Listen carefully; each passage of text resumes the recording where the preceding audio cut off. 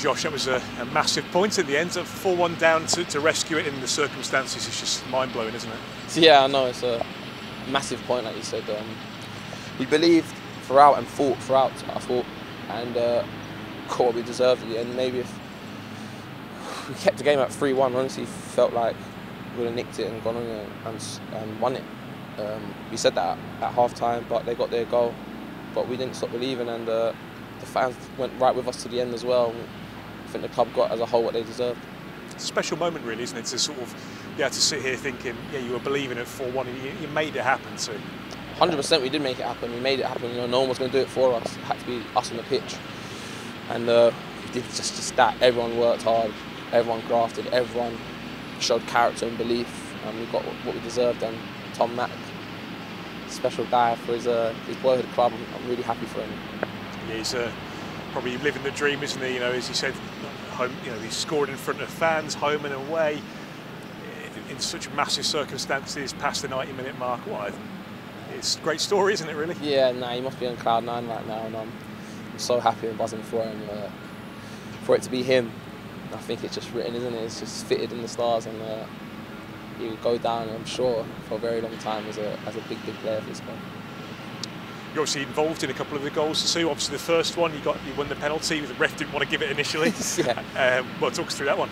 Yeah, you know, uh, the boss always says to me, you know, once I can, I can bully and make my presence felt up there. So um, once I got round him and got in front of him, I weren't looking to go down, but he took me down to be fair, and I looked up and the ref waved it away. But luckily, the line had done his job, and we got the we got the pen we deserved. So the game swung around at that point, but um, as you said, you know, even at 4-1 down, we kept believing.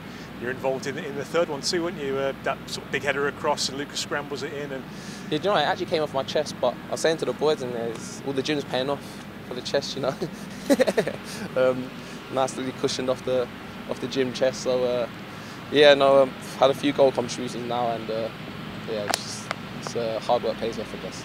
You enjoying that role too, sort of playing like sort of behind the striker? I mean, it seems like you're almost doing sometimes defensive work, really pressing the defenders and like winning the ball high and stuff like that. It really seems to be working nicely for you. Yeah, you know, uh, Gaffer called me yesterday and said that he thinks I'll be a big player today um, in terms of pressing up high and winning the ball back and all the style that they try to play. And he thinks that my style would um, would be big for us.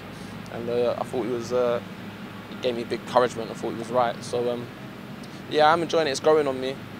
It's something that I'm still learning at, and you know, when you get goals and assists, it gets like a, a reward off it. So it's a sense of like pride and that you're doing your part for your team. So um, yeah, it feels good. But you know, playing for this team right now, it's uh, it's quite special. Obviously, when that third goal goes in, you've still got a long time to, to kind of you know try and get back into it and stuff. And the clock was ticking down. They were being quite smart in how they were playing, keeping the ball off us, and you know, we're probably all thinking you know, a lot of effort being put in, but no rewards at the end of it. But some massive rewards this Easter off the back of two really spirited and, a lot of quality as well. Yeah, I think that's the thing. We showed a lot of belief and spirit. I think uh, we put a lot of energy to get into 4-3. And I thought uh, we done well as a team just to calm down and relax and pick our moments. And uh, yeah, as you say, we got our, our rewards in the end. And uh, yeah, Tom Mack, special guy, special player been a, been a tough year for us generally and stuff. Obviously, we've had to, for quite a long time, we've been knowing where we are in the table, trying to fight against relegation. It's not done yet, but we put ourselves in a position where the teams have basically got to win their games now, just full stop, and they've got to rely on us to lose. We can obviously finish the job now at Hull. We can put it in our, totally in our hands now. Yeah, was, this season was always going to be tough. From, from day one when you came in, you knew it was going to be a tough season. I think we all knew that. We was all prepared for that. Uh, we had some dark times, but we've seemed to come through the other end. But the, the job's not done yet. We don't want to rely on other people.